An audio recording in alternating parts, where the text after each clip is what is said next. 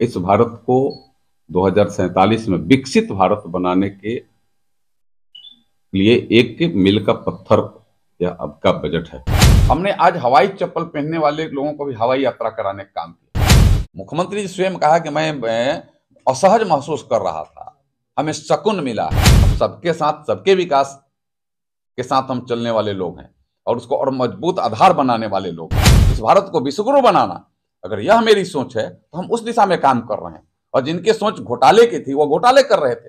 उस समय यह सोचना चाहिए कि जब आप लूट रहे हो राज्य राज्य के संपदा को तो उस समय मत लूटो। आज लूट कर, करके और लूट कर, करके आप निश्चिंत नहीं रह सकते।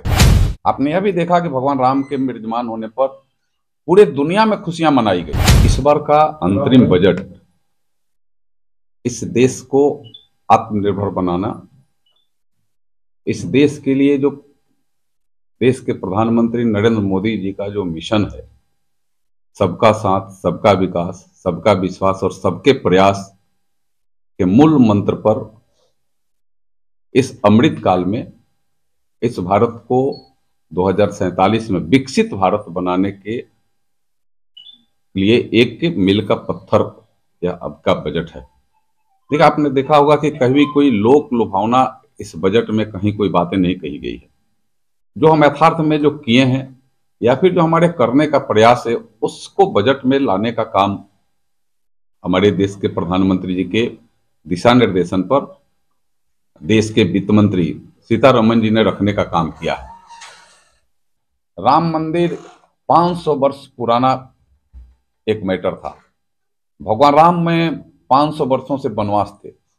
लेकिन जब देश के लोगों ने एक ऐसे प्रधान सेवक को जब देश का नेतृत्व दिया तो भगवान राम भी अपने स्वरूप में विराजमान हो गए। और यह पूरी समस्या का एक निदान हो गया। और हमें लगता है कि, मैंने सनातन के लिए, भारत संस्कृति और संस्कार के लिए, इससे बड़ा आधार कुछ नहीं हो सकता है। आपने यह भी देखा कि भगवान राम के विराजमान होने पर पूरे दुनिया में खुशियाँ मनाई गई। हमें कोई भारत के लोग ही नहीं, दुनिया में खुशी मनाई गई।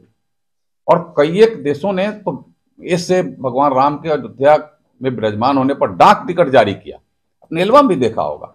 और यह पूरे भारत के करोड़ों, करोड़ भारतवासियों के लिए इससे गर्व का कोई बात नहीं हो सकता जो देश के प्रधानमंत्री के नेतृत्व में यह सारे सफलताएँ हम, यह मिल रही है। किसानों के बारे में लोग कहते रहे हैं, लेकिन किसानों के किसी ने किया नहीं। लेकिन अभी तक पंद्रह किस्त लगातार दो हज़ार रुपये प्रति किस्त के अनुसार देश के प्रधानमंत्री ने किसानों के खाते में डाइवर्ट करने का काम किया है। पहले लोग यह नारा देते थे कि गरीबी गरीबी हटाओ गरीबी हटाओ, लेकिन गरीब हट जाते थे, गरीबी नहीं हटती थी। लेकिन हमने यह चौदह से लेकर कभी तक लगभग पच्चीस करोड़ जो बीपीएल परिवार बने गरीबी रेखा के नीचे थे, आज उनको एपीएल बने उनको गरीबी रेखा से हमने ऊपर बढ़ाने का काम किया नारियों के सशक्तिकरण के लिए हम तो अलग अलग क्षेत्रों में उन्हें हमने रिजर्वेशन दिया भी है। लेकिन हमने राजनीति में भी उनके लिए यह रिजर्वेशन देने का काम यह बरसों बरसों से पुराना मैटर था। लोग कहते थे, चुनाव के समय, चुनाव के बाद वो बात भूल जाते थे। लेकिन देश के प्रधानमंत्री जी नारी शक्ति बंधन नियम बनाया और उसको हमारे बहनों को भी आज राजनीति के क्षेत्र में भी उनको रिजर्वेशन मिला। और कल और आज में अंतर यह होगा कि आज पूरे लोकसभा में, राज्यसभा, लोकसभा मिला करके इक्यासी लगभग हमारे बहने हैं। और कल यह एक सौ एक बेरासी की संख्या हमारी हो जाएगी जब इस पर हम चुनाव करेंगे। आपने देखा होगा यातायात की सुविधा में, जितना हमने एनएच की सड़कों का जितना निर्माण हो पाया है।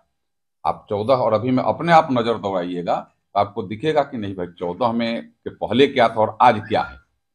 यह भारत सरकार सीधे सीधे एनएच की सड़कों की बात हो? यातायात में रेल की सुविधा की बात हो, अमृत भारत, माने ऐसे ट्रेनों की सुविधा की बात हो, बुलेट ट्रेन की बात हो, अलग से माल के लिए अलग से कॉरिडोर बनाने की बात हो तो हमने इस तमाम चीज़ों को एक विकास को धरती पर उतारा है और आगे भी हम जो 24 के बाद के जो तीसरी पारी प्रधानमंत्री जी की जो शुरू होगी, उस पारी में इस देश को, अर्थ के दृष्टि से भी, इस देश को विश्व का तीसरा, माने अर्थव्यवस्था, आर्थिक दृष्टि से हम खड़ा करने का काम करेंगे। हम इतने दिनों में पाँचवें स्थान पर हम पहुँचे हैं, लेकिन तीसरे जब अर्थव्यवस्था या भारत हो जाएगा दुनिया में तो भारत के एक एक लोगों के, वह हमें लगता है कि रहन सहन उनके आर्थिक स्थिति बदलेगी। और बदलेगी तो उसका लाभ हम सबको मिलेगा। हमने आज हवाई चप्पल पहनने वाले लोगों को भी हवाई यात्रा कराने का काम किया। और उसमें बिहार में भी अब हमारे देश के प्रधानमंत्री जी का दिशा निर्देशन उनका भी प्राप्त होते रहेगा। कहीं किसी चीज़ की अगर आवश्यकता हो तो वह भी प्राप्त होते रहेगा। तब बिहार का कल्याण होगा बिहार वासियों का कल्याण होगा। अब मोदी है तो मुमकिन है, या देश के एक सौ चौवालीस करोड़ लोग जो चिल्ला रहे एक स्वर से तो उसमें कहीं ना कहीं एक बड़ा दम है, एक बड़ा मज़बूत आधार है लोगों को, कि मोदी जी जो कहते हैं, सो करते हैं। जो कहे हैं, सो करेंगे। हम सबके साथ, सबके विकास के साथ हम चलने वाले लोग हैं। और उसको और मज़बूत आधार बनाने वाले लोग हैं। मुख्यमंत्री जी स्वयं कहा कि मैं, मैं असहज महसूस कर रहा था। हमें शकुन मिला है। वे स्वयं अपने कह रहे थे। और जनता की क्या स्थिति थी? आप कोई छिपा हुआ नहीं है। जो अराजक लोग हैं नरेंद्र मोदी जी भी हमारे उस चीज़ और विचारधारा को कहते हैं। और हमारे स्वामी विवेकानंद जी कहते थे कि जैसी सोच होगी वैसा ही हम कर पाएँगे।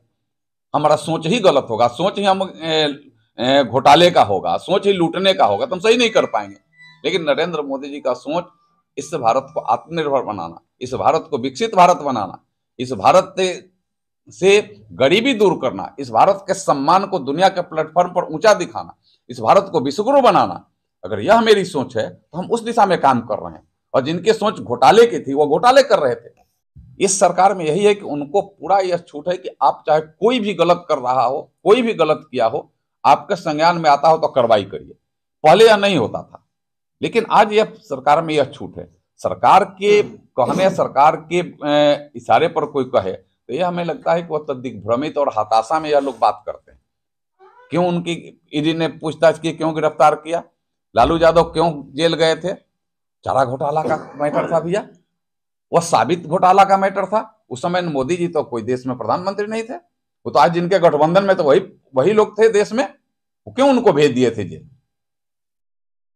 यह हमें यह हमें लगता है कि लोगों को यह हताशा में, उस समय यह सोचना चाहिए कि जब आप लूट रहे हो राज्य राज्य के संपदा को तो उस समय मत लूटो। आज लूट कर, करके और लूट कर, करके आप निश्चिंत नहीं रह सकते हो।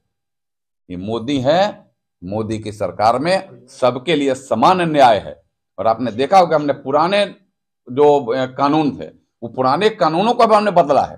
पुराने कानून को बदलने के पीछे यही था कि पुराने कानून हमें और मजबूती प्रदान नहीं करते थे। हमने नए कानून लाए हैं और पुराने सैकड़ों के तादाद में कानूनों को हमने बदला है।